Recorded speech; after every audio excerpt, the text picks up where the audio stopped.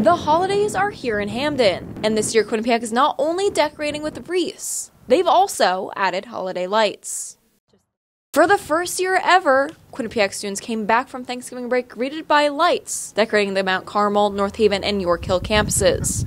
And Julia Shade, Junior Student Government Senator, is the one who made it all happen. This year, Luca Hearn, the vice president of SGA, he came to me and he was like, Julia, this has been something that SGA has worked on in the past, and it was approved back in 2017, but it was never implemented. So he said, I think this is the time to try it again.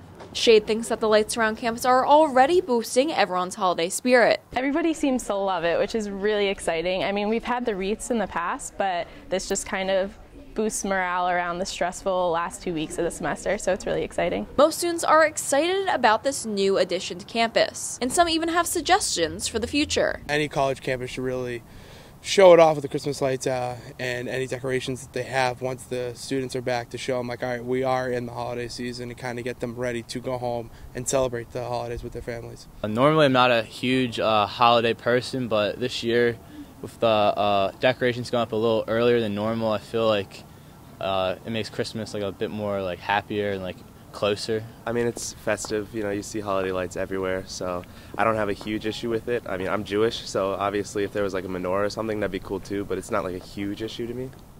For Q30 News, Cali Kees.